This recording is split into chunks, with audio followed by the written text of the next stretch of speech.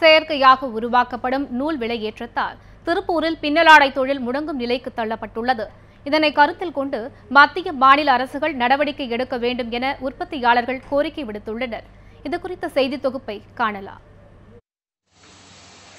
தமிழகத்தின் ஏற்றுமதியில் முக்கிய இடத்தை வகிக்கும் தொழில்களில் ஒன்று பின்னலாடை தொழில்.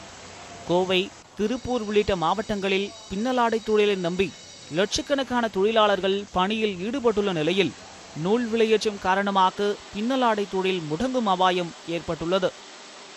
ஏற்கனவே ரெண்டாயிரத்தி பத்தில் இது போன்ற நிலைமை வந்த பொழுது பல விதமான ஆர்ப்பாட்டங்களும் போராட்டங்களும் பணியன் தொழில் உற்பத்தியாளர்களால் செய்யப்பட்டது. அதே நிலைமை மீண்டும் வந்துவிடுமோ என்று ஒரு அச்சமாக உள்ளது. தொழிலாளர்களுக்கு வேலை இழப்பு ஏற்படவும் வாய்ப்புள்ளது. கடந்த மூன்று மாதங்களுக்கு முன்பு கிலோ ஒன்று நூற்று தொண்ணூறு ரூபாய்க்கு விற்பனையான நூலின் விலை தற்போது இருநூற்று நாற்பது ரூபாய் வரை உயர்ந்துள்ளது. இந்த சூழலை தங்களுக்கு சாதகமாக பயன்படுத்திக் கொள்ளும் பொருட்டு நூல் உற்பத்தியாளர்களும் இடைத்தரகர்களும் நூல் பண்டல்களை பதுக்குவதும் அதிகரித்து வருவதாக கூறப்படுகிறது. இதனால் குறித்த நேரத்தில் ஆர்டர்களை ஏற்றுமதி செய்ய முடியாமல் கடும் இழப்பு ஏற்படுவதாக ஏற்றுமதியாளர்கள் வேதனை தெரிவிக்கின்றனர்.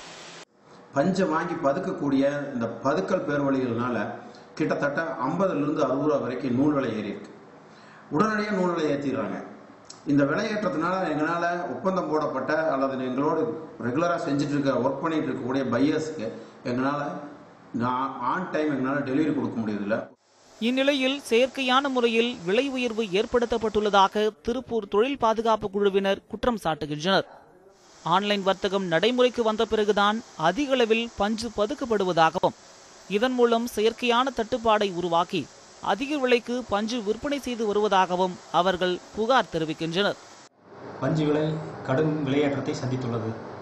இதற்கு மூல காரணமாக உள்ளது ஆன்லைன் ட்ரேடிங் மற்றும் வர்த்தகர்களுடைய பதுக்கலே காரணம்.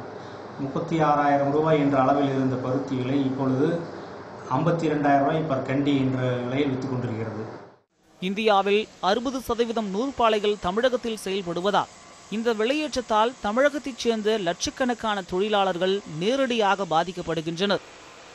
இந்த விலையேற்றத்தை தடுக்க சிசிஐ எனப்படும் காட்டன் கார்ப்பரேஷன் ஆஃப் இந்தியா மூலம் பஞ்சை கொள்முதல் செய்து பஞ்சு மற்றும் நூல் விலையேற்றத்தை மத்திய அரசு கட்டுப்படுத்த வேண்டும் எனவும் அவர்கள் வலியுறுத்தியுள்ளனர். சாய ஆலை பிரச்சினை தொழிலாளர் பற்றாக்குறை மின்வெட்டு என பல்வேறு சிக்கல்களை தாண்டி பின்னலாடை தொழிலின் விலையேற்றத்தை கட்டுப்படுத்தி தொழிலாளர்களை காக்க வேண்டும் என்பதே அனைவரின் கோரிக்கையாக உள்ளது Kathirvel news seven Tamil Tiruppur